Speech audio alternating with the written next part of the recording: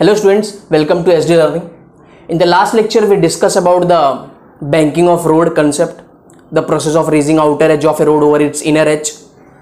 We discussed about the maximum velocity on a curved road, proper? And we also discussed about the centrifugal force. और मैंने आपको एक दो derivation outer से भी बताया था कि कैसे बाइकर्स कैसे बेंड करके सेंट्रिपिटल फोर्स खुद से लेने के लिए ट्राई करते हैं और जब कार का टाइम आया तो कार नहीं बेंड हो सकता एक ट्राई एक साइड में then the engineers have decided to bank the road road को बैंग कर दिया गया. Like I have given the example of saucer and one toy आप उसके अंदर टॉय कार है, उसके अंदर आप मूव कर रहे हैं. एग्ज़ाम्पल दिया था मैंने. So in the last lecture we discuss maximum velocity on a curve road बराबर ना? In terms of velocity on a curve road there are two derivation first is maximum velocity in the previous textbook there was only one derivation of maximum velocity but in new syllabus in new textbook there are two derivations there are two things there are two formula given out they have given the expl- explanation of the maximum velocity even and min- minimum velocity even so in the last lecture we discussed about the maximum velocity on a curved road proper na so now here we are going to discuss about the minimum velocity on a curved road मैंने जो diagram last lecture में बनाया था here I have drawn the same diagram this is the curve road And this is the banking banking आपको बताया था ना process of raising outer edge of a road over it inner edge आप who have not seen the last lecture please go and watch that lecture for getting this derivation last lecture में मैंने इसको बहुत detail में explain किया था. So this is the continue part of that last lecture velocity on a curve road we already discuss about the maximum velocity now we are going to here discuss about the minimum velocity on a curve road okay this is the curve part now this is the curve part. And this is, what is this? Angle of banking. Theta is the angle of banking. Same ये same ये car है vehicle है, आप कुछ भी imagine कर सकते हो, ठीक है? और इसके ऊपर ऐसे सब फोर्सेस थे। नॉर्मल रिएक्शन का फोर्सेस ऐसे मिल रहा था N cos theta N sine theta proper ना?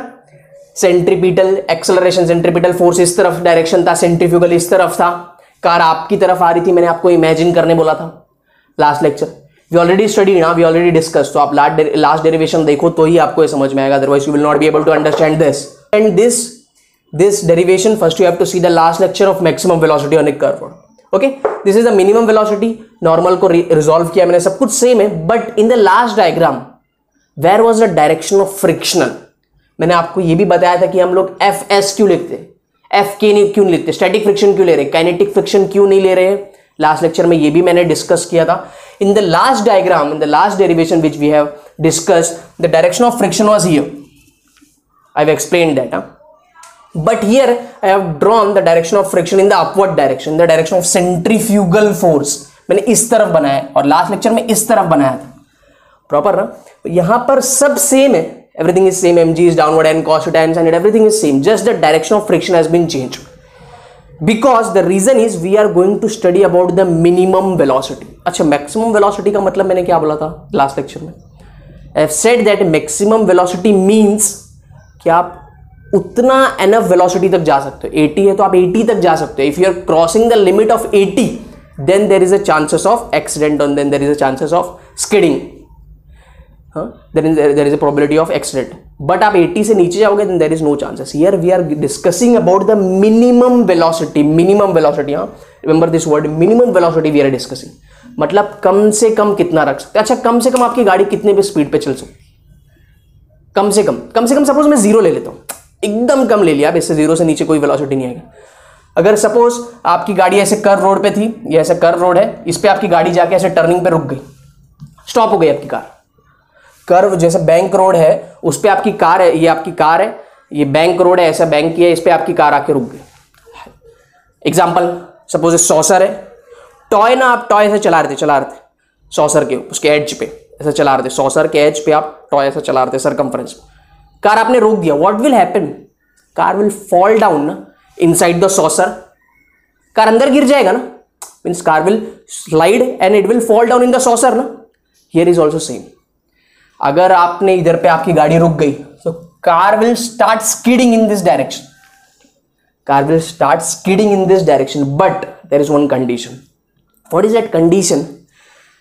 This angle of banking should be very greater.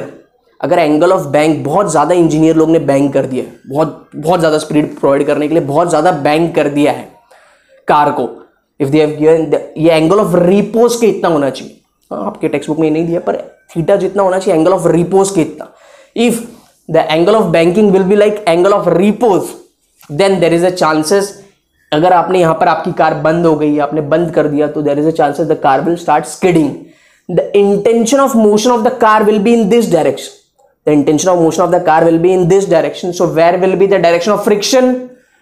In the last lecture, i've said about the friction. The friction always act in the opposite direction of motion or intention of motion. तो car का अगर intention of motion यहाँ पर है तो friction का direction कहाँ पर हो जाएगा? इस तरफ़। प्रॉपर ना? पर अगर आपने बंद नहीं किया और बहुत कम स्पीड पे हाईवे पे लेके जा रहे हो, जो we are we use to see कि हाईवे पे, बड़े हाईवे पे, बड़े टर्न पे कोई भी कार को स्लो नहीं चलाता आपको। सब ज़्यादा स्पीड से आते हैं। पर सपोज़ आपका 10 15 20 आप चला रहे हो स्पीड 10 15 और 20 की स्पीड से कार चला रहे हो। सो so, अगर ये angle of theta angle of repose के इतना होगा तो vehicle can skid up in this direction but आप हाईवे पे अगर आपकी स्पीड 15 या 20 के स्पीड से आप चला रहे हो तो there is a chances that car will start skidding in this direction अगर आप बहुत स्लो स्लो अगर आपने उसको कहीं पे भी छोड़ा जैसा मैंने सॉसर का एग्ज़ाम्पल दिया कार उसके ऊपर आप चला रहे हो अगर आपने छोड़ दिया उस कार को तो what will happen it will fall in that saucer ना so here is even same अगर आप कार स्पीड स्लो स्पीड से चला रहे हो, बहुत मिनिमम वेलोसिटी जिससे उससे भी कम चला रहे हो सपोज़ मिनिमम वेलोसिटी ट्वेंटी दिया उस पर हाईवे पे, अगर आप उससे भी कम चलाओगे there is a chances that car will start skidding ये ऐसे हाईवे रोड है, ऐसे कर ऐसे बैंक रोड है कार ऐसे स्लिप होने लग जाएगा। देखो ऐसा कार नहीं, ऐसे ऐसे इधर, इसको यहाँ जाना था it will start skidding centripetal की तरफ़ स्किड होने लग जाएगा तो इंटेंशन ऑफ़ मोशन यहाँ पर है तो फ्रिक्शन दिस तरफ़ एक्ट करेगा प्रॉपर ना? तो यहाँ, ये एंगल थीटा है। प्रॉपर ये एंगल थीटा है। So this will be also angle theta corresponding ना? दो पैरल लाइंस के बीच में अगर एंगल थीटा हो गया करस्पॉन्डिंग एंगल देखो एफ़ बन रहा है। एफ़ ये भी थीटा ये भी थीटा करस्पॉन्डिंग सो मैंने एफ़ एस को रिजोल्व करूँ। F S cos theta and F S sine theta F S, cos theta and F S sine theta. Proper, आपको समझ में आया? लास्ट लेक्चर भी सब कुछ सेम था, खाली फ्रिक्शन का डायरेक्शन ऐसा था और उसके अकॉर्डिंग रिजॉल्व किया था। But here we are discussing about the minimum velocity so if the velocity will be minimum then we have done the resolution here, f cos theta and f sin theta. There will be a chances that car can skid. अगर आप बहुत slow लेके जा रहे हो गाड़ी को highway पे, या बंद हो जा रही है आपकी गाड़ी तो कार यहाँ स्किड हो सकती है। सो n cos theta now we have to just balance the force huh? for balancing the force we have to what we have to do upward force is equal to downward force left force is equal to right force up is equal to down left is equal to right तो अब force कौन कौन काम कर रहा है N cos theta plus F S sine theta ना and they are balancing the mg of the vehicle they are balancing the mg of the vehicle so we have written here n cos theta plus f sin theta is equal to mg this is the first equation proper and for the second where is the direction of centripetal force car का ऐसा है curve ऐसा है। तो centripetal force का direction इस तरफ़ है। प्रॉपर ना? सेंट्रीपिटल फोर्स का डायरेक्शन इस तरफ़ है। The direction of the centripetal force is here proper this is the curve road तो एन साइन थीटा इस तरफ़ है। एन एफ़ कॉस थीटा इस तरफ़ है। You can see the direction N sine theta और एफ़ कॉस थीटा तो the resultant of net force of N sine theta and F cos theta is going to provide the necessary centripetal force the resultant of these two forces are going to provide necessary centripetal force the direction are opposite so i have taken here minus sign n cos theta minus f fs cos theta is equal to mv square by r last भी ऐसे discuss किए थे खाली बीच में plus होता था in the last derivation the direction of these two forces are same so they both were responsible for providing the necessary centripetal force but here the direction are opposite so i have taken here the minus sign and they both are responsible for providing the net centripetal force this is the first one this is the second one dividing second by first dividing second equation by first last derivation में भी same था second by first से आप divide करोगे M M cancel v square by R G आ जाएगा आपको right hand side पे देखो वी स्क्वायर और आर और अपॉन में जी है बाद में आर जी होने वाला है टोटल और यहाँ पर आपको एफ़ एस के बदले what you can write frictional force का फॉर्मूला क्या स्टडी फ्रिक्शन का म्यू एस एन और मैंने आपको यह भी बताया था कि एफ़ एस का फॉर्मूला म्यू एस एन के बराबर हो सकता है और म्यू एस एन से कम हो सकता है। उससे ज़्यादा कभी नहीं होगा। म्यू एस एन से कम फ्रिक्शन हो सकता है या म्यू एस एन के बराबर। मैक्सिमम उतना है, उससे ज़्यादा कभी नहीं होगा। Mu S mu s is the coefficient of static friction, where n is the normal reaction ना। Here we have written तो एफ़ एस के बदले मैंने म्यू एस एन लिख दिया। यहाँ पर भी म्यू एस एन लिख दिया। एन एन दोनों में से कॉमन निकल गया। कॉमन निकाल के कैंसिल कर दिया हमने देखे? Now this is the type of mathematical expression now we have to derive this expression by cos theta sine by cos tan हो जाएगा। देखो। यहाँ कॉस कैंसिल हो जाएगा तो म्यू एस खाली बचेगा। Tan theta minus mu S और यहाँ पर कॉस कॉस से डिवाइड करूँगा तो वन बचेगा ना। Plus sine by cos tan theta and here I have just derived this one, uh, this part, numerator and denominator have divided by cos theta here we have written a numerator and divide by numerator and denominator divide by cos theta so we got that tan theta minus mu S and one plus mu S tan theta and the right hand side is same v square by R G and we have to drive the expression of minimum velocity ना so r g को आप वहाँ send करो और पूरा root में ले लो. This is the expression of minimum velocity तो क्या फ़र्क था? मिनिमम वेलोसिटी मीन्स अगर रोड पे दिया है कि 20, 15 पे लेके जाओ अगर आप उससे कम भी लेके जाने लग जाओगे ना तो what is the chances the car will start skidding car इस तरफ़ स्किड होने लग जाएगा. बैंक रोड पे स्किड होने लग जाएगा. सौसर का एग्ज़ाम्पल याद रखो. सौसर पे आपका कार है. आप अगर वो कार को ज़ीरो पे कर दो वेलोसिटी ऐसे छोड़ दो स्किड हो जाएगा अंदर की तरफ़. तो इट विल स्टार्ट स्किडिंग और आपको स्ट्रेट ऐसे जाना है कर्व टर्न को क्रॉस करना है, अंदर नहीं गिरना है उसको. प्रॉपर ना? सो मिनिमम वेलोसिटी आपको इतना फॉलो करना है और जनरली मिनिमम वेलोसिटी पे कोई नहीं जाता. मैक्सिमम का इशू होता है. क्यों? क्योंकि आप कभी हाईवे पे देखें किसको टेन ट्वेंटी की स्पीड से चला रहे है? नहीं। Every one will follow fifty sixty seventy eighty ज़्यादा आप चांसेस है कि हाईवे पे people use to go with higher speed so maximum velocity is very much important if you are crossing that maximum velocity then there is a chances of skidding then there is a chances of accident but minimum velocity is simple but कभी कभी अगर आपकी car बंद हो गई bank road पे आके and angle is very much greater it's like angle of repose then car will start skidding and the friction will act in the opposite directions proper hope you understand so now after this we are going to discuss about the conical pendulum on this there are some there are some numericals that we are going to discuss आपको numerical में और अच्छे से समझ में आएगा proper so so here is the derivation well of death you can say this is the application of the last derivation which we have studied the minimum velocity derivation which we have just done. This is the application of that well of death. आपने सुना रहेगा ना circus वर्कस में आप जाओ तो उसमें रहता है वेल ऑफ़ डेथ मौत का कुआँ बोलते हैं ना, उसमें बाइकर्स उस पर रोटेट करते हैं, अपने बाइक्स को। कार वाले भी होते हैं लोग कंटिन्यू रोटेट करते हैं। So this is that derivation well of death that we are going to study this is well हाँ। ये आपका वो वेल है और ये पॉइंट जो है, ये बाइकर है। ओके ये पॉइंट जो है बाइकर अच्छा when that biker is moving in that well of death it is performing it is almost performing the circular motion अच्छा in that well of death well of death the the the vehicle, the biker is performing, is moving in a horizontal circle. We have seen that well of that vehicle जो है, जो biker रहता है, वो horizontal circle में घूमता रहता है कंटिन्यू हॉरिजेंटल सर्कल में घूमता रहता है। प्रॉपर ना और आपने एक चीज़ देखा रहेगा उसमें, अगर आपने रियल में उसको देखा है तो they use to keep on accelerating the bike why here is the reason that we are going to study about the reason उन लोग कंटिन्यू बाइक को एक्सलेट करते हैं उन लोग स्पीड में कम नहीं करते। देखो आप, उन लोग स्पीड को कम नहीं करते। जितना टाइम उन लोग पाँच मिनट, दस मिनट जब तक उस पर घूमना रहता है, उन लोग स्पीड कम नहीं करते। आप एक्सलेट का देखो आवाज़ आता रहा है बाइकर्स का। बहुत ज़ोर से एक्सलेट करते रहते, बहुत ज़ोर से एक्सलेट करते रहते। तो वो कंटिन्यू एक्सलरेट उन लोग करते ही रहते हैं। प्रॉपर ना? so that we are going to study why they used to keep on accelerating. And if they don't accelerate the bike what will happen? What can happen in that well of death that we are going to discuss here? So pay attention. Acha here is the biker huh? this point is the bike. Biker or bike you can say whatever. So what are the forces? First tell me what are the forces acting on this bike? If suppose biker से ही। उन लोग ऐसे नीचे से start करते हैं पहले ऐसे नीचे से कंटिन्यू स्टार्ट कर कर करके ऐसे ऐसे कंटिन्यू घूमते हैं। नीचे से स्टार्ट करते हैं आपने देखा होगा तो। जिसने रियल में देखा है नीचे से स्टार्ट करते हैं। बट एक सर्टेन पॉइंट पे टाइम कोई टाइम पे मैंने यहाँ पर देखा और यहाँ पर इसका स्क्रीनशॉट लेके आप पढ़ रहा हूँ आप कोई भी पॉइंट पे पढ़ सकते हो। सो so, यहाँ पर बाइकर है that we are going to study अच्छा बाइकर्स के ऊपर कौन कौन सा फोर्स लग रहा है? Where will be the normal reaction of the biker here I have mention where is the normal reaction but in general if i'm standing here where is the normal reaction of of my body? My mg is acting downward. Normal reaction is in upward. So, यहाँ पर भी आपका contact force biker को कहाँ मिल रहा है? इससे मिल रहा है ना? वॉल से मिल रहा है तो normal reaction will be here इसके ऊपर कुछ क्वेश्चंस है। और इसके ऊपर बहुत से क्वेश्चंस आते हैं एंट्रेंस में, कि नॉर्मल रिएक्शन कहाँ पर है।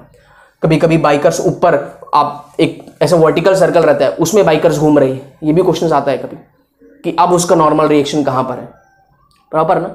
तो उसका एम अगर सपोज़ वर्टिकल सर्कल है और टॉप पोजिशन टॉप पोजिशन पे बाइकर्स है तो उसका एम भी नीचे रहता है नॉर्मल रिएक्शन भी नीचे रहता है।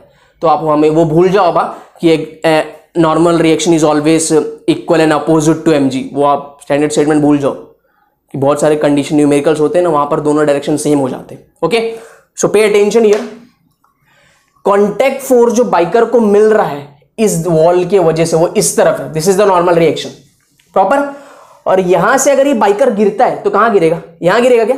इसके बाहर जा ही नहीं सकता। है ये तो ये तो वॉल आ गया डेथ का।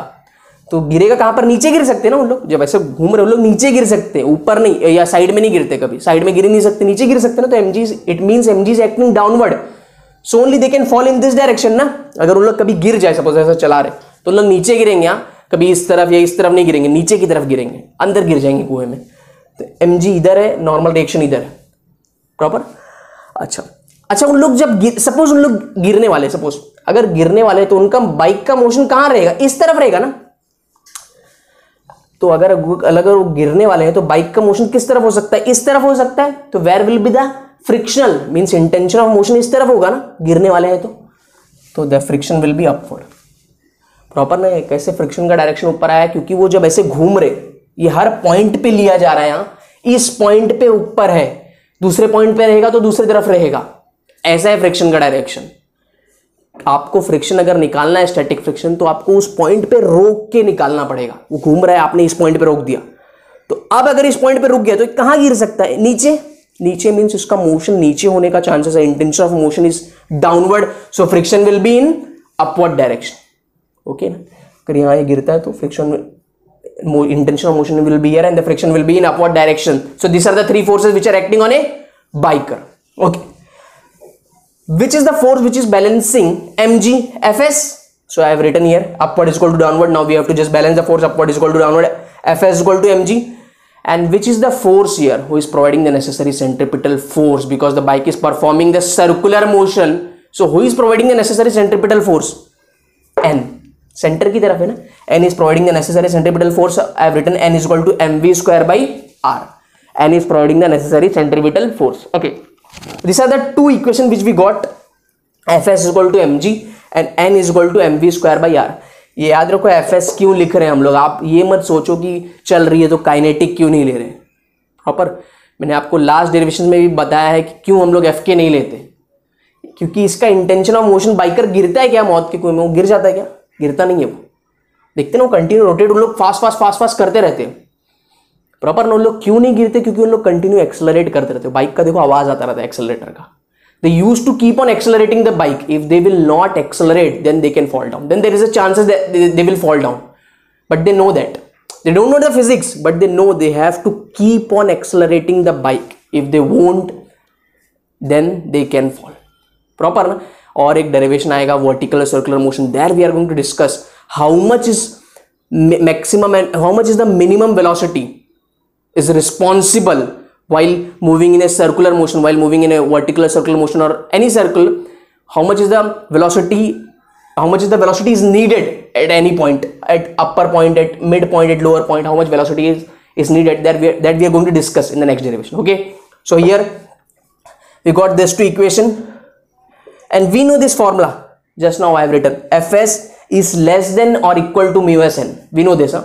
mu s से कम होगा म्यू एस एन से या फिर उसके बराबर होगा, उससे ज़्यादा नहीं हो सकता स्टैटिक फ्रिक्शन का formula so F S mu S मैंने ऐसे लिखा है एन एन का वैल्यू ये आया था ना, मैंने लिख दिया M V square by R proper ना, और मैंने यहाँ पर वी मिनिमम लिखा because this is this we can say application of minimum velocity कि ये कितना उसको मिनिमम वेलोसिटी इस पॉइंट पे मेंटेन करना पड़ेगा ताकि वो ना गिरे, ताकि वो बाइकर ना गिरे इतना मिनिमम वेलोसिटी यही निकालना है अपने को, कि इतना minimum velocity biker have to maintain so that it should not fall down वो ज़्यादा कितना भी स्पीड रखे there is no there is no problem we minimum निकाल रहा हूँ मतलब कम से कम इतना रखना ही पड़ेगा अदरवाइज़ ही कैन स्किड जैसे अभी कार में हमने बोला कि अगर उससे कम रखेगा तो बैंक रोड पे स्किड होने लग जाएगी car so here is here also same if the biker will keep the velocity minimum this, this minimum this this minimum velocity the, there is a probability that car can skid तो उसको इतना minimum velocity निकाल रखना पड़ेगा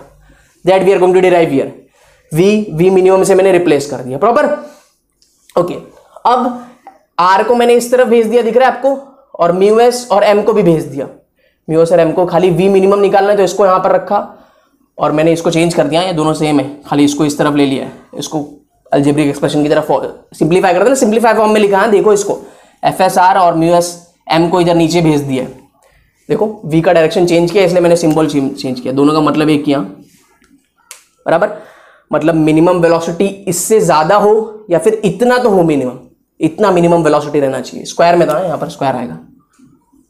okay F S का formula क्या है? M G so have return here F S के बदले M G M M cancel what will remain G R upon by mu S इसको मैंने स्क्वायर रूट ले लिया, इतना। This is the formula V minimum तो वी मिनिमम इतना कम से कम रहना चाहिए। समझ में आ रहा है? आपको आपको अगर चाहिए तो आप ऐसा लिख सकते हो V minimum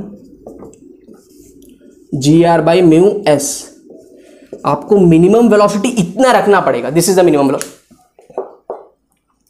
इतना इसको कैलकुलेट करोगे जी से आर इसका निकाल के सर्कल का और म्यू एस तो आपको मिनिमम वेलोसिटी इतना रखना पड़ेगा। If you are not maintaining if the biker is not maintaining this much velocity then the biker will fall down this car the bike will skid the bike will slide down and he will not be able to perform the circular motion proper अच्छा which motion which this is vertical circular motion the biker is performing और horizontal circular motion this is horizontal ऐसे घूम रहे हैं? देखो, ऐसे circle रहता है, ऐसे घूमता रहता है हॉरिजेंटल सर्कुलर मोशन अच्छा। तो मिनिमम इतना है। मैक्सिमम मैक्सिमम आप कितना भी ज़्यादा रखोगे तो भी कोई प्रॉब्लम नहीं है। क्योंकि वो ऑलमोस्ट पूरा सर्कल है। कर नहीं पूरा सर्कल कर दिया अगर इससे कम करोगे तो कार गिर सकती है। पर अगर इससे ज़्यादा रखोगे तो कोई चांसेस नहीं कंटिन्यू परफॉर्म करते रहेंगे। एक सर्टेन लिमिट रहता है वेलोसिटी का हर पॉइंट पे।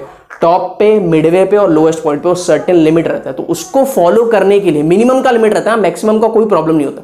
इसलिए हम लोग कंटिन्यू एक्सेलरेट करते हैं ताकि स्पीड कम ना हो। आप देखो, जिसने रियल में देखा रहेगा ना तो उसने देखा रहेगा कि मैक्सिमम उन लोग कंटिन्यू एक्सेलरेट करते रहते हैं। They use to keep on accelerating that bike उन लोग स्पीड को कम नहीं करते। प्रॉपर ना? वेट सो कंटिन्यू उन लोग वेलोसिटी बढ़ाते रहते हैं एक्सेलरेट करते रहते हैं कि अगर उन, क्यों, ताकि उनका स्पीड कम ना हो। अगर स्पीड कम होगा then there is a chance of accident और अगर स्पीड बढ़ाते जाएँगे तो कोई चांस नहीं कोई प्रॉबिलिटी नहीं, उन लोग कंटिन्यू परफॉर्म कर सकते हैं। इसलिए उन लोग कंटिन्यू एक्सेलरेट करते रहते हैं एक्सेलरेट करते रहते हैं। Proper after this we are going to discuss about the conical pendulum so here is the topic conical pendulum in your portion there are two pendulum one is the conical pendulum and other one is the simple pendulum in the 11th standard we already studied about some basic basic thing about the conical pendulum okay here we are going to discuss about this in detail conical pendulum और दूसरा क्या है second simple pendulum एक second pendulum भी होता है वो oscillation oscillation oscillation में सिंपल पेंडुलम भी ऑसिलेशन में और सेकंड पेंडुलम सेकंड पेंडुलम भी ऑसिलेशन में ही है। So here now we are going to discuss about the conical pendulum and in each and every derivation of simple pendulum और conical pendulum we just have to derive the time time period जब भी derivation आएगा ना आपके text book में, जो भी derivation है it's about only the calculating the time period of simple pendulum time period of conical pendulum numericals में आपको अलग अलग चीज़ पूछ सकता है।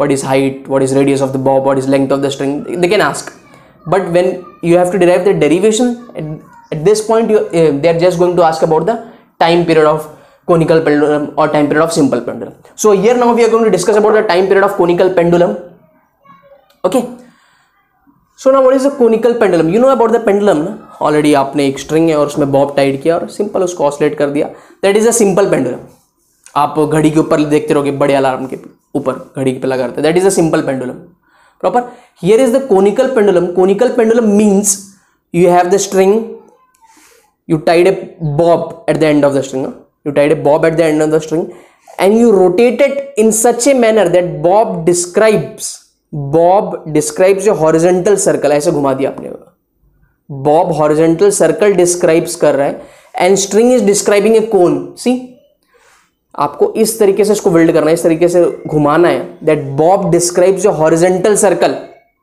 bob describe a horizontal circle and string describes a cone that is a conical pendulum that is a definition of conical pendulum means conical pendulum is a pendulum in which string describe a cone and bob describes a horizontal circle Bob describe a horizontal circle. That is the part of, that is the conical pendulum. So, here now we are going to study about the conical pendulum. और ये जो है UCM है। ठीक है?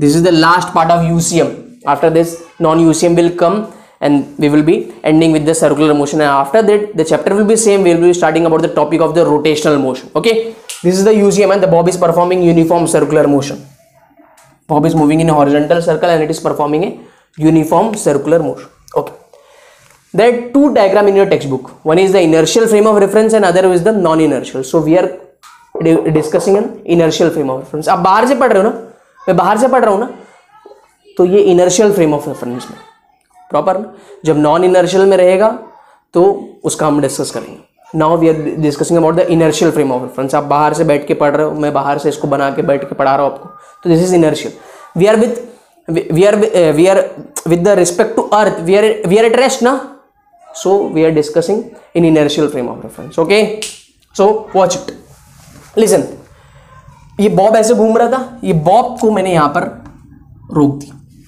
ये Bob अभी इस पॉइंट पे था, रोका नहीं, मैं इस पॉइंट पे पढ़ने जा रहा हूँ। ओके ऑन दिस पॉइंट अच्छा this is angle theta string का एंगल ये ये एक ही स्ट्रिंग है, ऐसा क्या, ऐसा घूमने वाला है। एंगल थीटा तो बॉब के ऊपर, यही बॉब है बॉब के ऊपर कौन कौन सा फोर्स एक्ट कर रहा है एट दिस पॉइंट सब आपको फ्री बॉडी डायग्राम बनाना पड़ता है हर चीज़ के लिए। आप कोई भी सम्स भी करोगे ना the main important thing is you have to draw, draw the free body diagram in the last also we discussed in the last derivation also first we drawn the free body diagram free body diagram means you have to calculate the forces which are acting on that body after that you have to just make the equation and solve it all the derivation all the sums are very easy huh? mostly the sums are very easy just you have to calculate the just you have to draw the first free body diagram so here bob ka free body diagram if i am making mg is in downward direction अच्छा tension भी है यहाँ पर tension string में tension आ रहा है string अगर टेंशन नहीं रहेगा तो स्लैकेंड हो जाएगा टेंशन बहुत इंपॉर्टेंट है। टेंशन है, इसके ऊपर बॉब टाइट किया हो ना मास है ना तो स्ट्रिंग में टेंशन जा रहा है। अच्छा where is the direction of tension tension always act away from the body and in the string tension always act away from the body and in the string तो bob यहाँ इससे away act करेगा और in the string string के अंदर। So direction of tension is here अच्छा this is angle theta cone का। तो this will be angle also theta alternate ना जेड बन रहा है देखो. This is angle theta so this will be also theta so I am resolving T here T cos theta and T sine theta T cos theta T को resolve किया T cos theta and T sine theta proper अच्छा. Now we can see the total forces M G downward था. T tension act कर रहा था string में. तो we have resolve the tension into two component T cos theta and T sine theta proper ना अच्छा now who is balancing this M G T cos theta T cos theta balance कर रहा है। बहुत ऊपर जाने वाला है क्या? ऐसे ऐसे कोन में घूम रहा है, घूम रहा है। ऐसे ऊपर नहीं जाएगा तो ये दोनों बैलेंस हो जा रहे हैं, इसलिए ऊपर नहीं जा रहा है। अगर if suppose M G will be greater than T cos theta what will happen the string will be broke and the bob will fall down proper ना? टी कॉस थीटा और एम जी दोनों फोर्स बैलेंस होने चाहिए। Proper balance नहीं होंगे तो it can fall down तो T cos is equal to M G and who is providing the necessary centripetal force? Because bob is performing ucm circular motion. So who is providing the centripetal force? T sine theta. T sine theta is responsible for providing the centripetal force. Means component of t is responsible for providing the necessary centripetal force. So t sine theta is equal to mv square by r.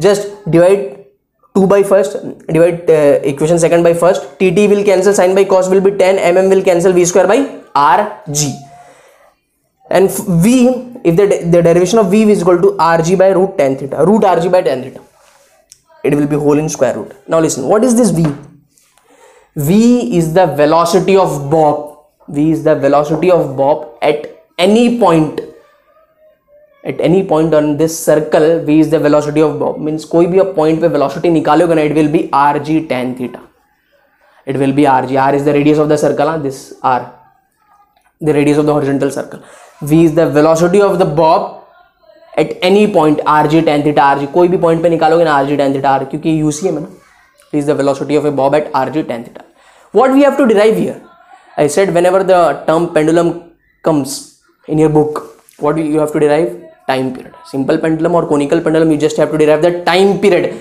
so what is the formula of basic time here i have written the time period by t dash because i have used the t for tension so i have written for time period. This is time period huh? time period का basic formula क्या है distance upon speed. तो distance is 2 pi r ना 2 pi r by speed means v.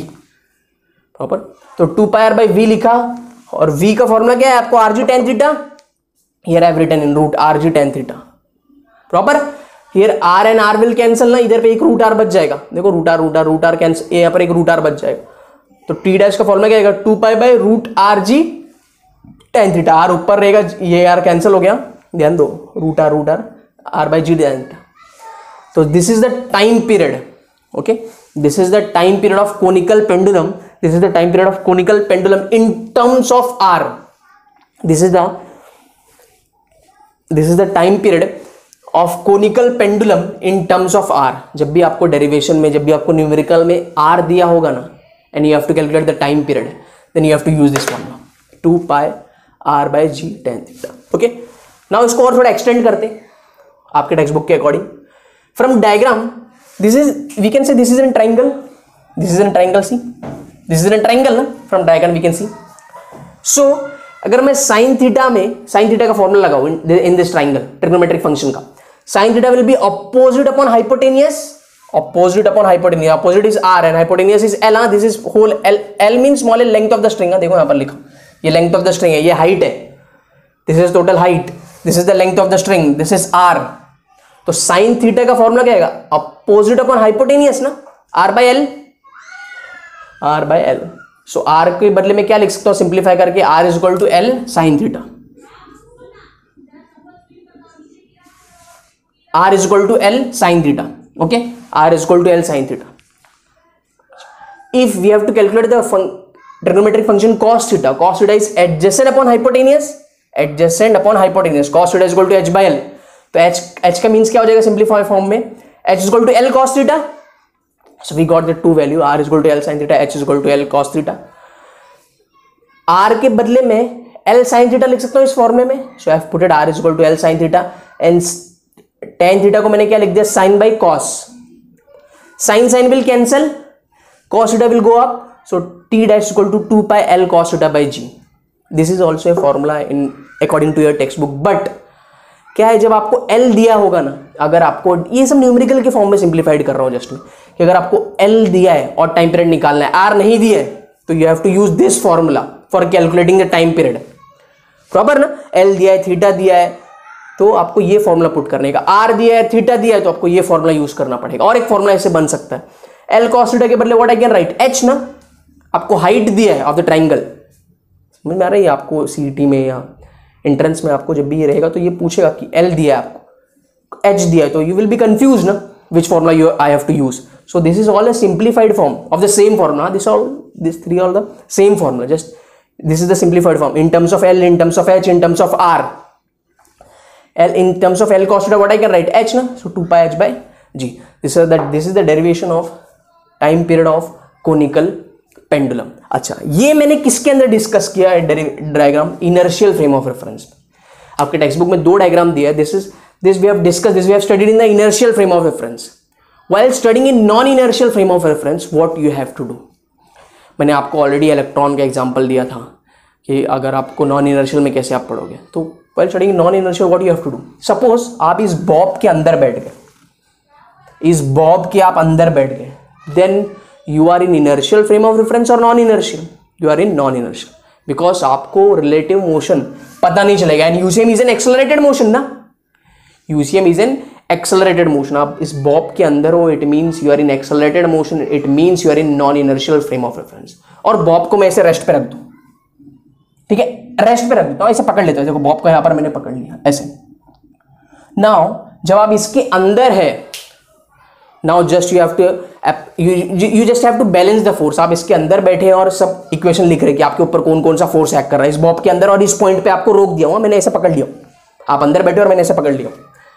Now just you have to balance the force up force equal to down force left force equal to right force अच्छा in non inertial frame of reference which force is going to act जब मैं non inertial की बात कर रहा हूँ, in non inertial frame of reference which force is going to act centrifugal and where will the direction of centrifugal outward centrifugal will act at this point ना m v square by r centrifugal will act in this point m v square by r तो आप इस point पे मैं आप बैठे हो इसके अंदर और मैंने ऐसे पकड़ लिया नॉन इनर्शियल में। हम लोग इस डायग्राम को डिस्कस कर रहे you have to just balance the force upward force equal to downward force means t cos it equal to m g and left force equal to downward force left force क्या है? T sine theta और left force equal to right force left force क्या? T sine theta और right force क्या? M v square by r तो आपके T sine theta को कौन बैलेंस करेगा in non inertial frame of reference t sine theta will be balance by m v square by r और जब हम लोग इनर्शियल में डिस्कस कर रहे हैं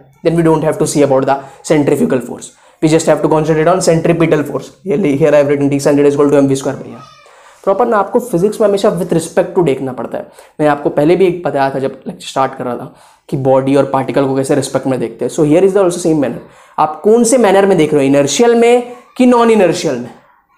Generally we use to study in inertial frame of reference but suppose in the question suppose in some sums, they will ask about the non-inertial frame of reference. Who is balancing the t sin theta?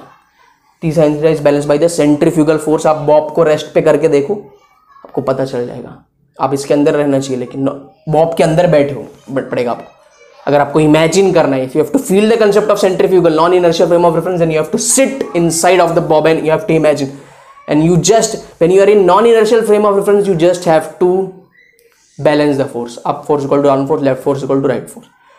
T sin theta को कौन balance कर देगा? M v square by r way centrifugal force balance कर देगा। Proper ना? Okay okay.